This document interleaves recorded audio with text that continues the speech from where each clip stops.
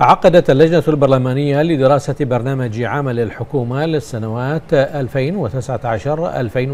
اليوم اجتماعها حيث حضر الاجتماع من الجانب النيابي معالي السيدة فوزية بنت عبد الله زينل رئيس مجلس النواب ورئيس اللجنة النيابية المعنية بدراسة برنامج عمل الحكومة والسادة النواب أعضاء اللجنة.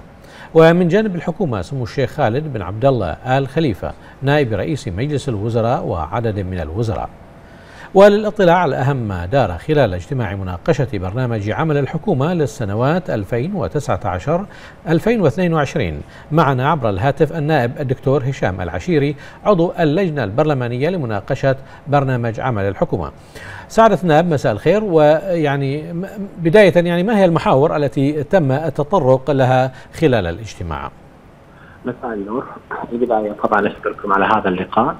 اليوم تم عقد الاجتماع الأول اللي كان بحضور ممثلي الحكومة مع اللجنة البرلمانية لمراجعة برنامج عمل الحكومة. اليوم كان التركيز من قبل ممثلي الحكومة على برنامج التوازن المالي وانعكاساته على برنامج عمل الحكومة.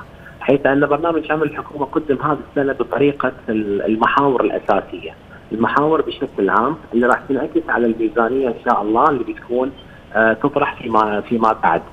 فاليوم كان سعاده وزير المالية عطى شرح وافي عن برنامج التوازن المالي والمبادرات اللي قامت بها الحكومة لإحداث هذا التوازن المطلوب بين الإيرادات والمصروفات.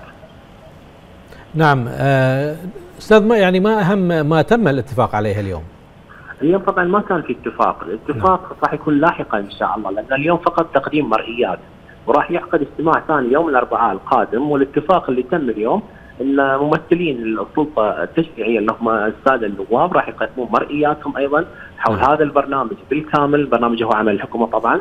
وراح يقدم مجموعة من التساؤلات اللي راح تصدر من النواب بعد هذا اللقاء اللي تم اليوم.